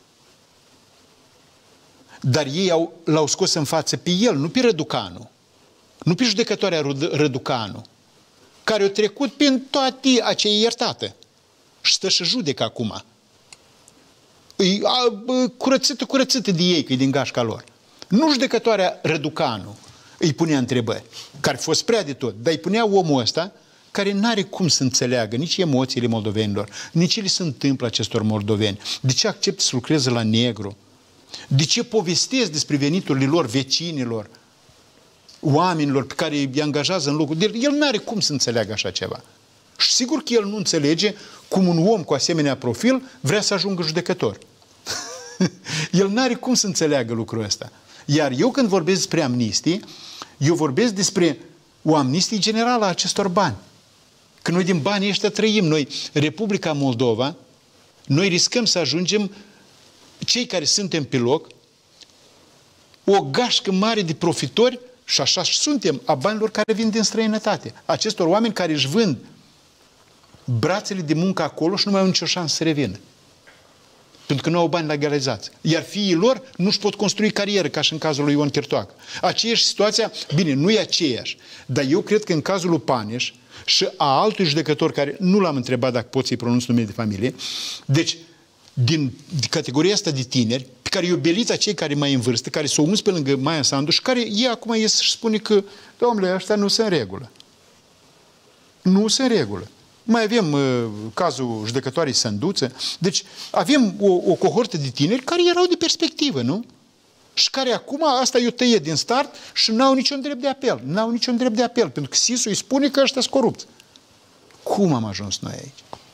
Nu, despre amnistie ce, ce nu putem vorbi, pentru că deja este o lege care reglementează cash așa că diaspora din la 1 ianuarie anul viitor va avea probleme la procurarea Știm. imobilelor, da, ați văzut sigur, deja? Sigur că da. Sigur că da. Legea asta putea fi făcută, dar după o amnistie a, a capitalurilor, a banilor. O amnistie. Deci era, era ca să faci o asemenea lege, deci toate țările au trecut, chiar, chiar noi am trecut prin câteva amnistii, altă dată. Deci nu poți fără amnistie capitalurilor să faci asemenea legi. Încă ceva despre justiție. Uh, cazul Marina Tauber, a noua ridicare a imunității? Asta e caz de teatru. Deci eu cred că noi nu, nu știu dacă avem acum... Deci, eu, deci ar fi o piesă de teatru. Deci, deci... Da, e adevărat, legea prevede că pentru orice acuzație da, trebuie știu, de fiecare dată să ridici imunitatea? Eu înțeleg, da, dar când, dar când dar atunci când... În celelalte opt cazuri... Dar când acele opt cazuri nu sunt nicăieri și nici nu pot ajunge nicăieri, pentru că așa sunt făcute. Sunt făcute să nu ajungă nicăieri. Adică, totuși, politica este un joc al percepțiilor. Iar percepția este că noi am ajuns în absurdul ăsta. Noastră, iată, eu vă dau, uh, vă dau uh, deci, uh, care este narațiunea pronunțată de această guvernare de fiecare dată când îi întreb când îi întreabă cineva despre justiție. Îi spun, avem nevoie de un procuror care să nu umble el acolo cu slava, cum era acolo, privet slava sau nu știu ce, sau cu slava KPSS. Avem un procuror care să livreze rezultate. Acum te uiți, spuneți-mi, vă rog, dar procurorii ăștia care au rămas, pe care voi ați îmbrățișat, proveniți toți din, cum ați spus voi, din cei 660 de judecători sau 666 sau câți erau ei acolo, că 640, nu mai țin minte, cărora li s-a adresat Maia Sandu din poziția ei de prim-ministru sau ce mai era ei opozant atunci, le spunea pentru că au semnat nu știu ce pentru Placotniuc. De aceea ți-am îmbrășățat pe majoritate. Majoritatea fac legea în Republica Moldova. Deci, eu vreau să înțeleg, adică în situația asta, deci voi n-ați livrat absolut nimic, voi asta spuneați, că voi vreți ca acești procurori să fie comisar Catania, să fie, voi n-ați livrat nimic până acum, nimic absolut, dar nimic. Iată, eu vă amintesc, vă aduc aminte. Țineți minte cât entuziasm era când l-au alistat pe, când l-au reținut pe Serioja Sârbu. Cât entuziasm era când era purtată Ivanova, Reșetnikov. Cine își mai amintește uh, uh, numele astea de familie? Iar dosarele lor nu au nicio perspectivă. Nu. Gata, pentru moldoveni, moldovenii sărăcie s-au îmbătat sol. De bucurie că Maia Sandu le face dreptate. Dar dosarele nu mai există, domnul Canu. Dosarele nu mai există. Ele au fost clasate din da, lipsă de infracțiune. sigur că da. Și așa vor fi clasate în conșir de dosare, care ei flutură acum. Nimic nu se va întâmpla. Pentru că nu poate să producă o reformă în felul ăsta. Dar cazul tatălui Olesei Stamache, l-ați văzut? ce cu cazul lui? Eu n-am fost atent, cred că. I-a luat apărarea fiicii sau ce a făcut? Nu, el fusese huiduit de o doamnă foarte vocală. Nu Apărătoarea pasului acum, uh-huh. da, am văzut ceva, da. Și așa, un, da, destul de umilit pe instanță. Pe, Coval umilit prin instanță? Pe culoarele unei instanțe. A, de către unei instanțe, da, sport. Spectacole de astea noi am mai văzut.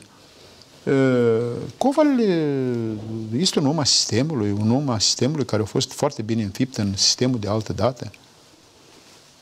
Spre deosebire de, spre deosebire de familia Chertoacă, a cărui fiu nu are nicio șansă în Republica Moldova.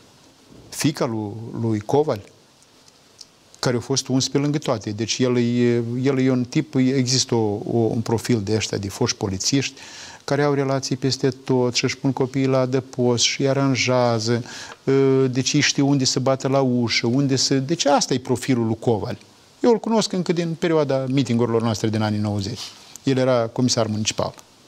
Deci, deci există un asemenea, spre deosebire, iată tagma asta de al de Coval, ăștia își pot face carieră pentru copii, ăștia pun totul la bătaie, dar se bagă peste tot și își fac carieră pe lângă, pe lângă.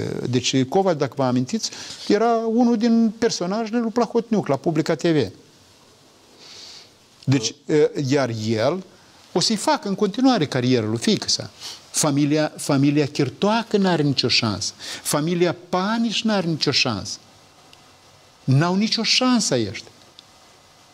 Dar Coval, în continuare, o să-i fac carieră lui, lui, lui Stamati. Chiar dacă pare că e pe ducă, doamna? Ducă din pas. Păi cum e pe ducă din pas? Poate pasul e pe ducă de lângă ăștia, pentru că ăștia, nomenclatura asta, deci, deci Olesa Stamate face parte dintr-un cerc de nomenclatură care nu dispare niciodată nicăieri. Deci noi avem o castă din foști polițiști, foști procurori, foști judecători, care se șușotesc, care vorbesc, foști ofițeri SIS, pe lângă judecători, șoptesc colo, șoptesc dincolo. Deci ei niciodată nu dispar din, din peisaj. Cum nu dispare Iulian Groza cu taică în spate? Cum nu, ei nu, nu dispar niciodată în, din peisaj. Ei întotdeauna sunt. Deci asta e o nomenclatură care o mers peste ani. Moldovenii noștri care pleacă peste hotare spun încă o dată n-au nicio șansă să-și, să-și împingă progeniturile undeva și asta se vede. Dar Maia Sandu e tot de acolo. Maia Sandu tot așa a fost purtată pe brațe. De Taixo, Dumnezeu să-l ierte. De, de, de, de, de, de uh, prietenii lui Taixo.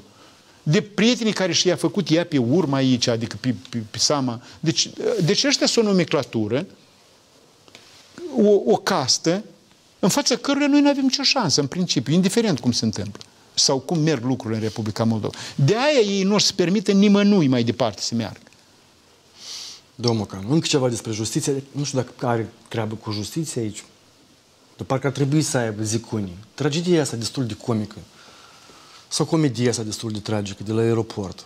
Uh, ba trebuie dosar, ba nu trebuie dosar. Ba spânul, ba spânul, nu spânul. Ba doamna Sandu a fost întrebată. Uh, și ce crede despre acest scandalaj, dacă e scandalaj. Uh, jumate din lume vuiește, cealaltă pur și simplu tace și ignoră. Um, Dar e legată de, de alte lucruri. Deci, în, în toată istoria asta era nevoie de transparență. În toată istoria asta era nevoie de o întreagă campanie transparentă, cu, cu, cu niciun fel de bănuieli, de, de, de, de, de interese ascunse și așa mai departe. Eu nu pot, adică eu, sincer, iată, vedeți, am vorbit liber anumite lucruri în care am adus și invective și și, deci eu aici nu pot să vă spun nimic, pentru că eu, eu mă tem, eu sincer mă tem de soarta acestui aeroport internațional Chișinău, care este principala poartă de intrare în Republica Moldova, dacă el mai rămâne un an, doi pe mâna lor. Deci ei nu îl pot gestiona aeroportul ăsta. Ei nu îl pot gestiona.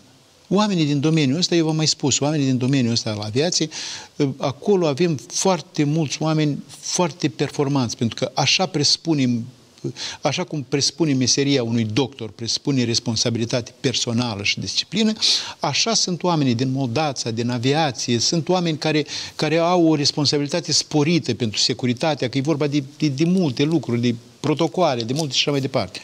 Deci oamenii ăștia s-au pomenit foarte des ostaticii tuturor guvernărilor, pentru că în jurul activității astea foarte responsabile, mă refer la unui aeroport, Moldața, uh, Autoritatea Aeronautică, în jurul acestor oameni care sunt funcționari, s-au învârtit întotdeauna interesele oricărei guvernări, pentru că acolo au fost întotdeauna și foarte mulți bani.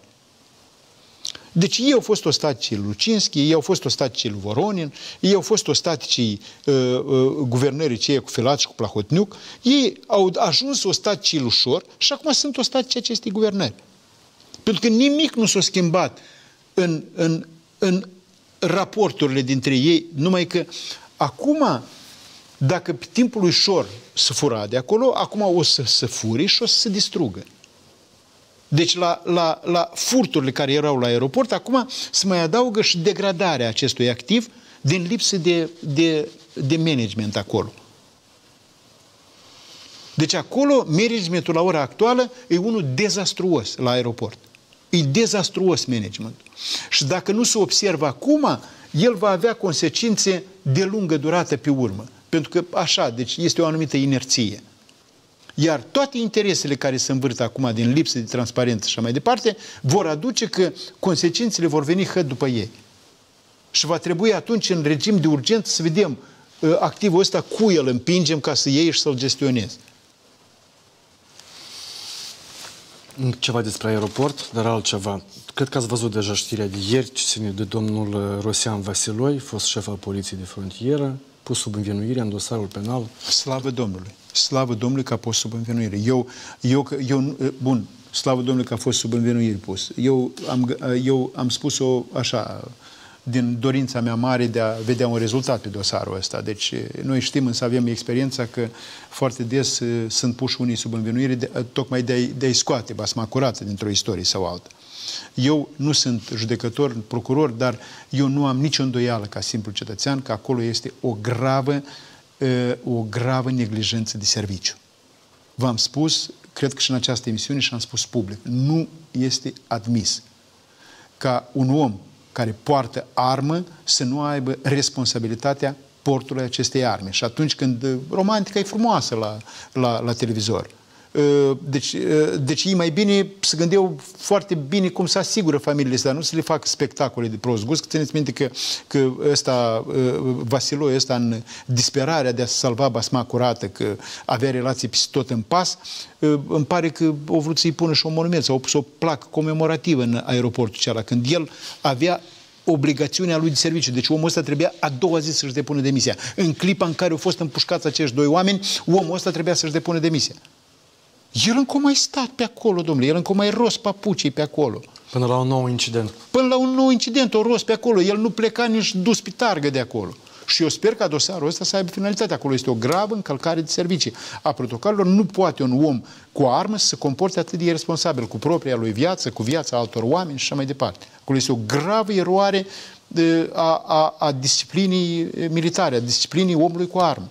Sigur că eu salut uh, uh, acest dosar și uh, vreau să-i văd finalitatea, pentru că este o gravă încălcare uh, a, a, a protocolelor. Să nu încălcăm regulile noastre, noi tot le avem pe anumite protocole, deci luăm câteva clipe de da. publicitate, da. vă rog, după care o să revenim. Publicitatea, doamnelor și domnilor. Noi am revenit, doamnelor și domnilor. Domnule Mocan, ce înseamnă victoria asta zdrobitoare așteptată a lui Vladimir Putin? Asta e mandat de la popor că el poate să dea foc și globului pământesc? Și... Ehm, eu nu știu care va fi reacția partenerilor noștri europeni, occidentali la chestia asta. Dacă ați văzut, nu s-a grăbit nimeni să-l felicite.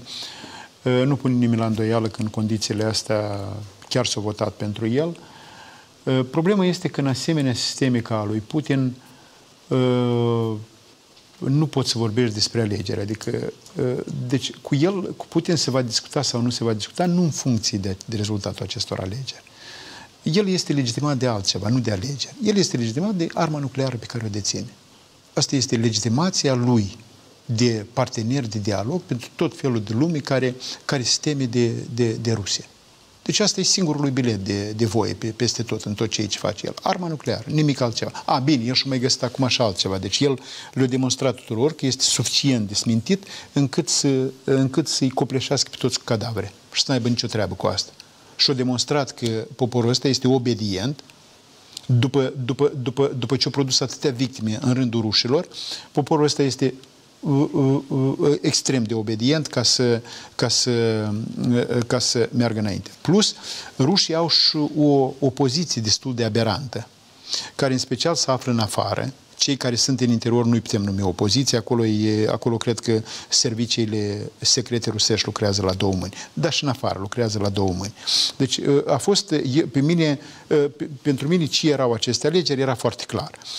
Uh, uh, ce se va întâmpla, totul era clar. Uh, nimeni nu a pus la îndoială câte procente va acumula Putin. Uh, însă eu l-am văzut pe el înaripat și foarte bucuros de aceste alegeri și nu de rezultat. El știe că îi disenează rezultatul de care are nevoie. De nimic altceva. Singurul uh, lucru pentru care el era așa de fericit era faptul că el totuși știe foarte exact că e criminal. Era fericit că aceste alegeri au trecut fără revoltă. El se teme strașnic de o revoltă. De atâta lunetiștii lor au tras în Maidanul ucrainean, deci lunetiștii lui erau trimiși de la Moscova să tragă în tinere cele pe Maidanul ucrainean. De aia el a pornit cu războiul ăsta împotriva Ucrainei, deci el are o frică groaznică de, de revolte populare. Deci, în momentul în care el a depășit bariera asta și, și a trecut dincolo, deci el era foarte fericit că s-a terminat cu el pentru, fără vreo revoltă populară.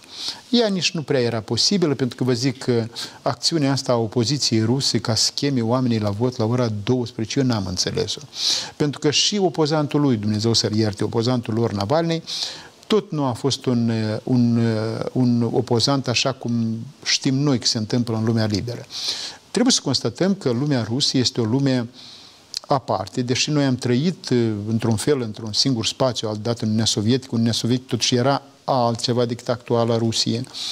Uh, eu constat că noi ne-am dus în direcții diferite de la 90 încoace, cu toate problemele despre care v-am vorbit și le avem noi, noi totuși trăim într-o lume liberă. Uh, acolo, acolo este o dictatură pe care noi nu ne putem imagina. O dictatură de care suntem foarte mulți, foarte mulți lideri occidentali. O parte suntem, suntem direct de ceea ce poate face Putin, iar încă, iar o altă parte din acești politicieni suntem de șantajul pe care îl poate întreprinde Putin împotriva lor de o lungă perioadă de, de concubinaj dulce cu Putin. Există foarte mulți lideri occidentali care au trăit, au trăit într-o formă sau alta din foloase, de pe urma colaborării cu Rusia și cu, și cu agenții lui Putin.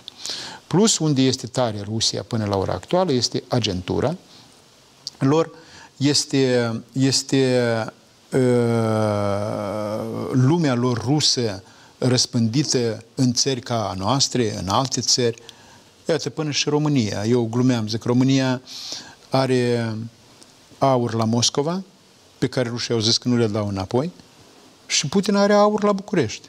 Eu spuneam, poate îl schimbă pe Simeon, pe George Simeon cu aurul lui, cu aurul tezaurul României de la Moscova. E o, e o glumă, desigur. Dar prin asta eu vreau să spun că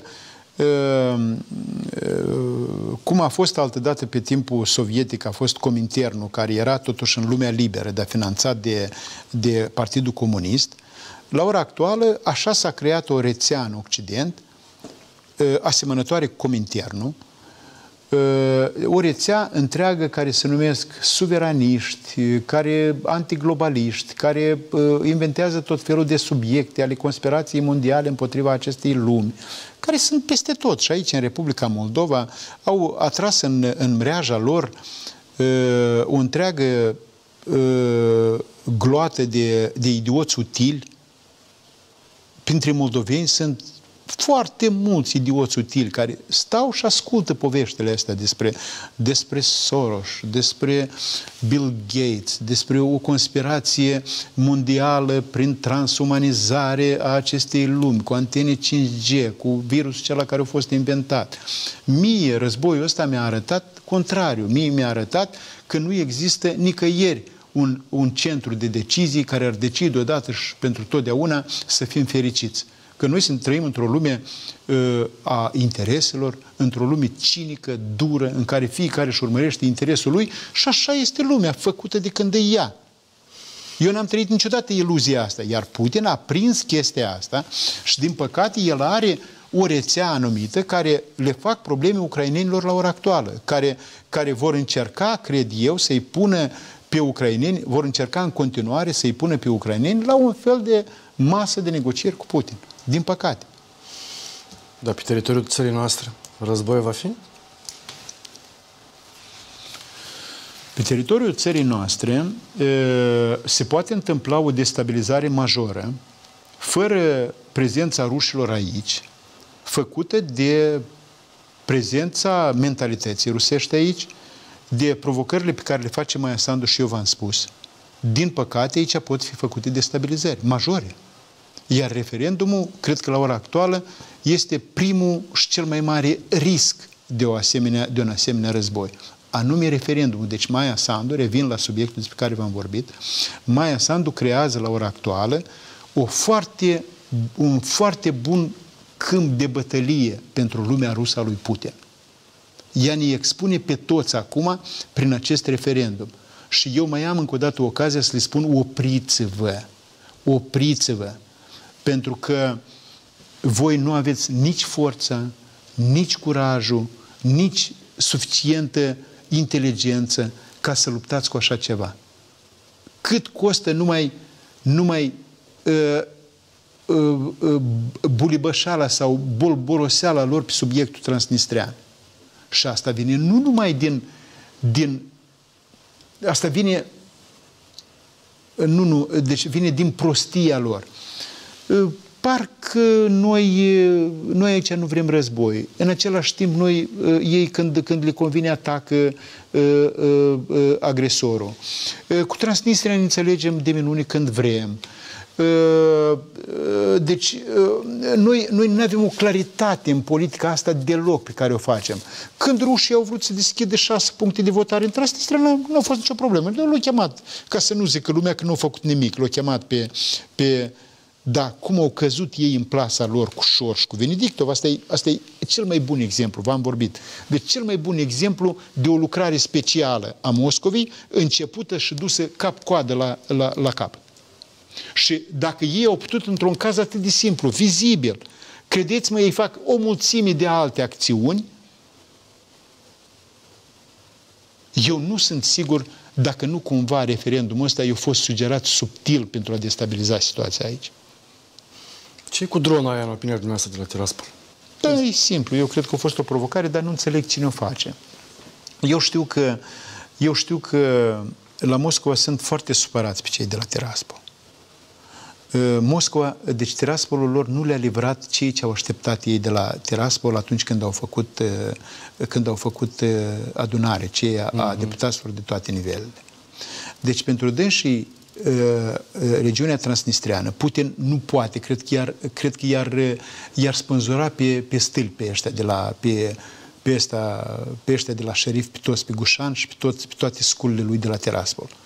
Deci să dai tu atâția bani, să bagi tu atâția bani, să investești în Transnistria asta și acum când ai nevoie de ea, ăștia să-ți arete, iertați-mă, spatele, eram să spun altceva.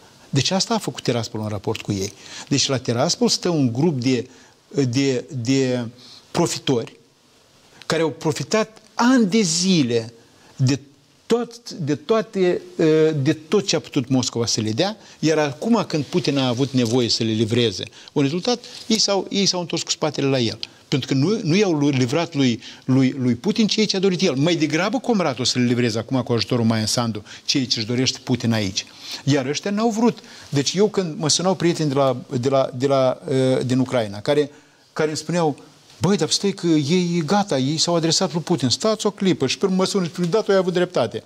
Putin nu suportă așa ceva, deci ei au făcut adunare ce și s-au adresat lui Putin, dar s-au adresat și Occidentului. Cum așa? Mm. Când s-a văzut din cazul lui Șor și Venedictov ce are nevoie Putin. Putin are nevoie de... Acum nu există semitonuri. Putin are nevoie de poziție clară. Aici nu există uh, uh, dincolo sau, sau dincoace. Aici este ori ești cu noi, ori ești împotriva noastră, clar. Iar Transnistria nu îi livrează nimic lui Putin și el nu poate, el nu poate recunoaște că e tâmpitul care a investit atâta și nu are niciun rezultat din asta, dar ei și aici au investit la fel. Câți bani au investit ei în Dodon? Ca Dodon să ajungă aici om bogat și să nu livreze nimic. Nimic. Toți, au, toți și-au frânt capul aici. De la turci, încă de pe teritoriul, de pe timpul otomanilor și-au rupt gâtul aici, în, în, în natura asta îmbârligată a moldovenilor. Acum le fac un compliment. Un compliment. Da, da, da, da. Uh, cum schimbă cursul războiului dacă învinge Trump, ori ce când învinge Trump în noiembrie? Pe mine asta mă preocupă mai puțin. Chiar e foarte, vă mulțumesc că discutăm un pic și pe problema asta. Pe mine mă preocupă mai puțin. Eu dacă aș putea să adorm acum și să mă trezesc în ziua în care Trump a câștigat alegerile și a devenit președinte, n-aș avea nicio problemă. Pentru că din momentul acela Trump va avea altă politică. Problema pentru ucraineni și pentru noi toți, pericolul constă în această perioadă de alegeri în Statele Unite ale Americii. Eu, ca să vă aduc argumente plauzibile cu Trump, eu vă amintesc câte speculații au fost că dacă vine Trump, nu știu ce se întâmplă pe lumea asta și nu s-a întâmplat nimic. În patru ani de mandat al lui Trump. Uh-huh. Statul american este o mașină atât de greoaie, o mașină care merge pe un făgaș atât de bine înfipt încât chiar niciunul ca Trump nu-i poate schimba cursul. Este adevărat că într-o democrație cum este America, în perioada asta, apar foarte multe probleme și problema Ucrainei la ora actuală nu este numai Trump, este și Biden. Pentru că din lupta dintre ei doi, din lupta dintre ei doi în campanie electorală, Ucraina își pierde oamenii pe câmpul de luptă. Deci nu numai din cauza lui Trump nu vin ajutoarele așteptate de către Ucraina, dar știi cauza lui Biden. Iar, iar exemplul Israelului demonstrează. Eu sper ca Ucraina să reziste. Ucraina trebuie să reziste la ora actuală până la sfârșitul alegerilor din Statele Unite ale Americii. Până acolo trebuie să, să reziste. Și să fie mai atentă, cred eu, eu asta încerc să o sugerez peste tot, la inițiativele lui Macron, la inițiativele europenilor, trebuie să fie foarte atentă, pentru că în, în Europa Putin și-a băgat foarte, foarte multe bombe cu efect întârziat. Nu vrea Macron să aducă armată pe teritoriul Ucrainei care să apere Ucraina. Chiar dacă vrea să aducă armată pe teritoriul Ucrainei, vrea să o aducă, dar ca un factor de reținere pentru ucraineni, nu de rezistența ucrainenilor. Nu există în persoana lui Macron un prieten devotat al acestei cauza ucrainenilor. Ori cauza ucrainenilor este cauza noastră a tuturor. Această lume se va schimba dacă Ucraina va rezista. Și se va schimba și establishmentul european, care, care, a ajuns, care am ajuns noi acum, ca o să mai spun o, o, o chestie pe care am spus-o și care îmi place să o repet pentru ca să ajung. Deci, capitalismul, în momentul în care s-a pomenit în fața unor revoluții comuniste, au fost nevoie să se adapteze, să-și creeze sisteme de, de, de, de, de protecție socială și să-și creeze un socialist, un, un sector socialist al lor. Eu, acum eu reduc la, la termeni simple. Deci capitalismul european, în momentul în care s-a ciocnit cu mișcările masive comuniste, a fost nevoit să-și creeze sectorul lor socialist. Tot sectorul socialist din Europa se menține pe performanța capitalistă ă, ă, spre anii, spre, după căderea Uniunii Sovietice, după 90, ă, mâncăii ăștia care au stat în societăți civile europene, și care, o, o, care trăiesc până acum din, din banii pe care i-au dat ca unui copil alentat, ca unui copil de bani gata. Că de acolo provine și Maia Sandu și toată liota asta, nu spun mai departe, de la guvernare, tot de acolo provin, de la, de la, de la, de la alentații ăștia care au trăit pe banul capitalistului. Și le-au zis, băi, n-avă bani, nu mă tăceți. Dar între timp ei au ajuns pe la guvernare peste tot. Oamenii ăștia nu au riscat niciodată cu nimic. Oamenii ăștia și-au creat cluburi de care vreți, cu corectitudine politică, ei știu unde, ce trebuie să spui, ce nu trebuie să spui și tot așa. Asta nu e o conspirație mondială, asta se întâmplă, eu asta o spun ca să nu mă bage și pe mine cumva în ăștia care fac conspirații mondiale. Asta e o rătăcire a acestei societăți. Noastră, eu, eu mă întorc acum la Europa anilor 60-70, o Europa cu o anumită libertate economică, cu, cu, cu anumite lucruri care mai erau găuri fiscale. Erau și găuri fiscale, era și chestia asta. Dar libertatea economică le dădea în fiecare zi, le dădea entuziasm să muncească și așa mai departe. Ăștia au constrâns tot. Ăștia corectitudine peste tot. Nu-mi pasă în stânga, în dreapta. Ei știu ce trebuie să spui, unde trebuie să spui, unde să nu ofensezi femeile, unde să nu ofensezi bărbații. Trebuie să fim toleranți cu toată lumea. Eu accept toate, toate temele de discuții, dar nu până la exagerări unde să ajunge acolo. Aici am ajuns. Și Europa asta se poate schimba doar în urma stresului ăsta al războiului. Doar în urma acestui stres. Ați văzut cât de vocale au fost democrații, tot socialismul ăsta european, tot liberalismul ăsta de stângul european și occidental, atunci când Ucraina era victimă cât e de ușor să plângi asupra unei victime și să-i povestești cât de tare tu iubești victima asta. Dacă în victima asta își scoate unghiile și înfipge unghiile astea în gheara atacatorului, îi strigă, curge sânge din acela. Singurii care își pot permite luxul la ora actuală să nu țină cont de ei, de toată mizeria asta, sunt Israelul, care au reușit în anii ăștia să-și creeze un complex militar al lor, să nu depindă de nimeni, să-și retragă acum ambasadorul de la ONU, să le arete ăstora că stat și-o creat, o creat Palestina aceea cu câteva generații crescute în tabere de refugiați și care nu mai vor să muncească niciodată și care singura lor preocupare era să, să, să, să ucidă evrei, și așa creează lumpen de asta peste tot. Moldoveanul nu-i lumpen occidental? Noi, țara asta nu este ținută pe bani occidentali? Și este nădușit orice inițiativă de afaceri în Republica Moldova? Noi suntem, în sensul ăsta, o tabără de palestinieni. Iar Maia Sandu trebuia să vină să asigure tot. Sigur că eu exagerez aici, fără, fără partea cea militară, cu înarmarea și așa mai departe. Dar slavă Domnului, statul Israel și-a putut permite chestia asta. Ruptura în toată istoria asta o să fie atunci când statul Israel o să-și poată permite să sprijine Ucraina. Ei încă nu-și pot permite chestia asta, din mai multe motive. Politice, geopolitice, de situații din interior, de, de o mare enclavă uh, uh, vorbitoare de limbă rusă, din mai multe motive, dintr-o, dintr-o, dintr-o, dintr-o imagine de care ei nu pot scăpa a ostașului sovietic care i-a scos din, din, din, din camerele de gazare. Asta e o imagine de care nu scape ușor. Eu asta o înțeleg. Dar în momentul în care vor scăpa de imaginea asta, uh, Israelul va, va, va avea un cuvânt dispus în noua ordine mondială și ucrainenii la fel.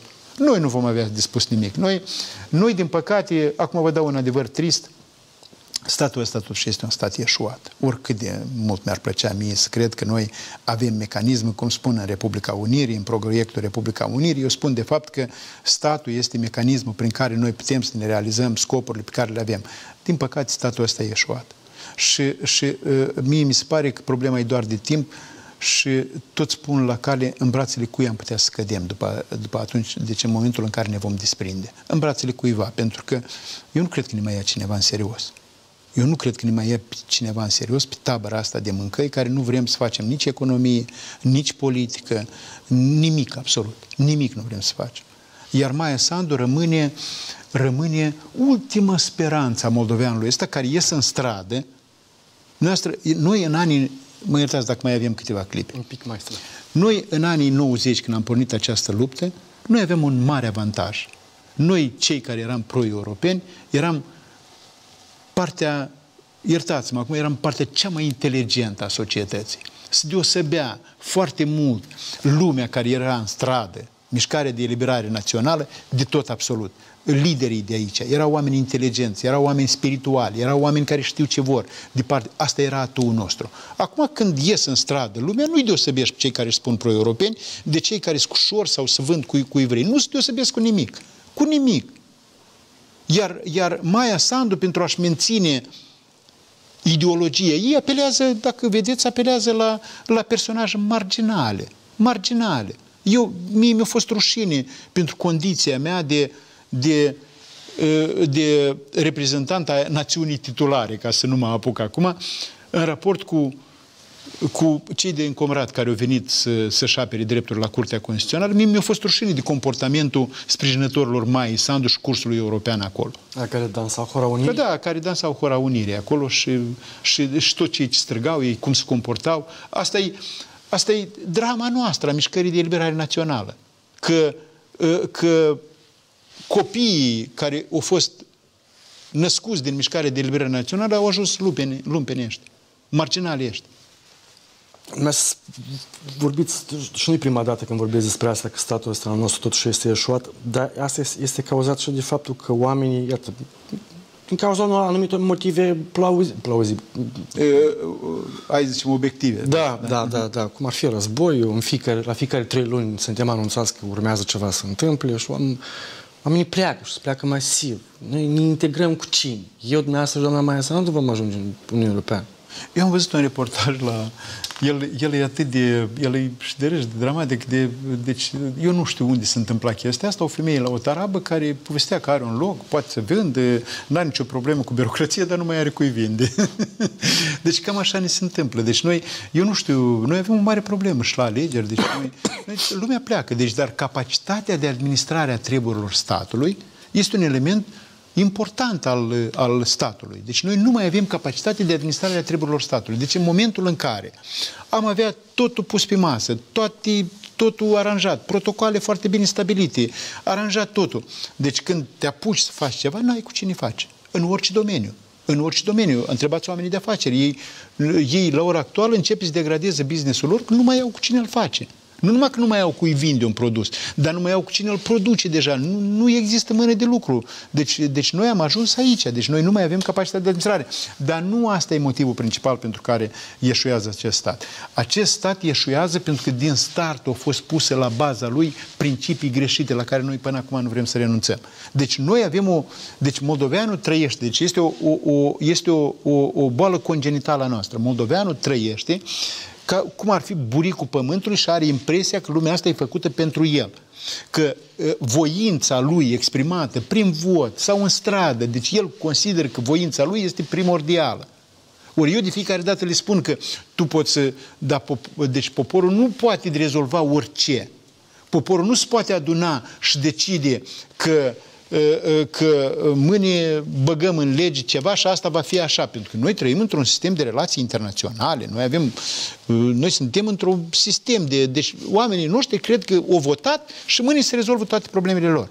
Deci nemuncind, tu poți să ai mâini totul pe masă, deci statul trebuie să le dea, dar întreb, dar de unde să-ți dea statul ăsta dacă nu produce? Nu știu, statul trebuie să-mi dea, nu? Asta e mentalitatea. Și noi nu avem nevoie de economie până acum. Și guvernarea asta n-a făcut nimic, dar absolut nimic ca să declanșeze mecanismele economice. Și se putea face, se putea face. Noi aveam nevoie de o reformă administrativ-teritorială mai mult chiar decât o reformă în justiție. Și reforma în justiție contează. Dar noi am avut nevoie de reformă administrativ-teritorială mai mult decât orice. Cum spuneați dumneavoastră, guvern de sacrificiu, da? Eu, le eu le-am propus toți să fie guvern de sacrificiu. Eu le-am propus să fie un pluton de sacrificiu. Deci asta era singura lor șansă. Pentru că oricum pleca, oricum pleacă. Dar lăsau, eu le-am adus, poate nu e cel mai bun exemplu pentru moldoveni. Asemenea personaj de sacrificiu a fost Druc. Mm. Pe foarte scurt timp, de el a fost un personaj de sacrificiu, care nu mai are nicio șansă în Republica Moldova. Dar au făcut câteva lucruri pe care eu pot să le numesc oriunde, care nu le-au mai desfăcut nimeni. Care nu le-au mai desfăcut nimeni. Deci, Druc, scurt, Druc într-o noapte, printr-o acțiune de curaj, o schimbat nomenclatura. Toată nomenclatura sovietică o schimbat-o. Druc o scos, o, o, o, o lichidat într-o noapte școlile moldoruse, generatoare de limbaj, bine, nu s-au îmbunătățit tare mult limbajul pe urmă, dar oricum s-au schimbat anumite lucruri. Într-o noapte au făcut lucrul ăsta. Deci într-o noapte de, ca să înțelegeți, moldovenii n-aveau nici măcar acces la justiție, ca lumea că judecătoriile, sistemul de justiție era rusesc. A, avem un clan de-a nostru, corupt, dar asta e altceva decât ceea ce aveam. Într-o noapte au rămas malduri de dosare în care au fost aduși avocați, juriști de pe teritoriu să se ocupe și să devină judecători atunci. Am avut o șansă foarte mare atunci. Dacă câteva chestiuni de curaj pe care le-au făcut uh, Druc erau duse până la capăt. Eu, eu la asta mă refer. Și el a fost un personaj de sacrificiu, clar. Clar, nu mai avut nicio șansă. Mai spun un lucru. Dacă nu era acțiunea de curaj nesăbuit, nesăbuit a lui Druc de a ridica voluntari și de a, de a descuraja răgăiala imperială a găgăuzilor în 90, fără niciun foc de armă, fără niciun gram de sânge vărsat, pur și simplu o acțiune făcută ca la carte de descurajare, Comratul astăzi era ca Transnistria. A fost o acțiune de descurajare făcută, eu pot să vă demonstrez, făcută ca la carte. Nu pentru că am fost unul din actanți, eram vicepreședinte a Comitetului Executiv Regional Cantemir și am avut o mie de oameni pe care i-am ridicat, dar am stat și i-am ținut să nu meargă nicăieri, să nu ofenseze pe nimeni, să nu, să nu cadă un fir de păr din capul nimănui. Dar s-a oprit referendumul. Găgăuzii au obținut statutul ăsta tot prin anumite lucruri. Dar da, da, găgăuzii din interior au spus, noi mai departe cu ăștia nu ne certăm așa. Că sunt mulți. Bun subiect, dar trebuie să încheiem. Începe postul să fim mai buni. Sau a început postul să fim mai buni. Țineți post? Nu. Eu am un post uh, de mulți ani de zile care uh, eu am un regim alimentar foarte strict și mm. nu, de, deci, adică postul meu vine peste postul ăsta. Eu nu mănânc carne, nu mănânc... Uh, Clar. Domnule Mocan, eu vă mulțumesc tare frumos pentru faptul că ați fost la noi la emisiune. Vă doresc mult succes în tot ceea ce faceți și ne revedem neapărat aici Și eu vă mulțumesc foarte mult. Mulțumesc, doamnelor și domnilor, atât a fost să fie la ediția de azi a emisiunii Puterea a patra. Să trăiți frumos și bine și să vă văd mândri.